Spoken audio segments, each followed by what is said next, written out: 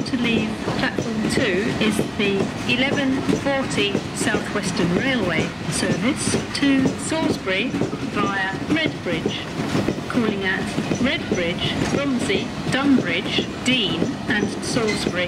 This train has two carriages. The first set of doors in carriage 1 will not open. Please use all other available doors on this train.